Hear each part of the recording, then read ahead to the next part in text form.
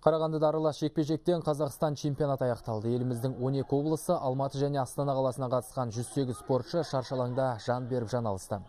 Ақтық сайысқа 6 салмақ дәрежесі бойынша 28 спортшы жолдама алды. Жарыс қорытындысы бойынша жергілікті команда үздік шығып, қарағандылық 5 спортшы чемпион атанды. Олардың қатарында былтыр ғана әлем кубогының алтын жүлдегер атанған Рашид Дагаев бар. Енді чемпионат нәтижесіне қарай ұлттық құрама іріктелмек. Олар мамыр айында Астанада өтетін аралас жекпе-жектен Азия чемпионатында ел намысын қорғайтын болады.